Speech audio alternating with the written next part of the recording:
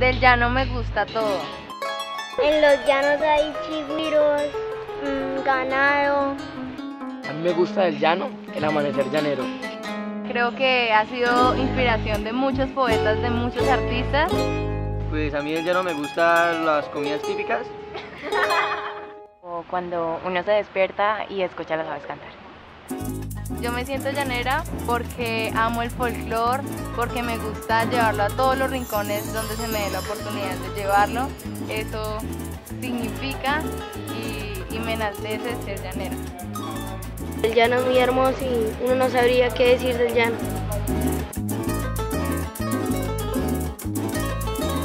Amo bailar y me gusta el arte. Me gusta mucho el sonido del zapateo. Cada tañido podemos escuchar y podemos sentir como esa bravura de la mujer y del hombre llanero. La música que yo canto es una especie de, como de comunicación. como llanero orgulloso, quiero cantarle a mi pueblo y gritar con Colombia. Eh, nosotros nos venimos preparando pues para rendirle un homenaje a Colombia qué mejor forma de mostrar ese homenaje que en esa fecha tan especial como lo es el 20 de julio.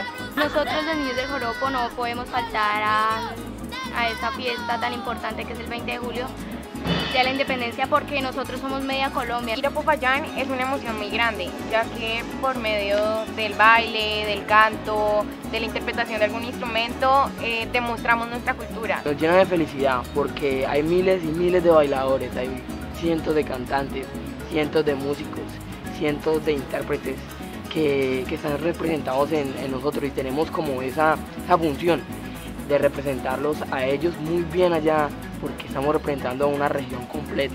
Mi tesoro no es ni material, no es material porque mi, mi, tesoro es mi talento, el talento que yo tengo para poder bailar, que me lo dio Dios. Y, y ese talento no puede hacer falta en Popayán.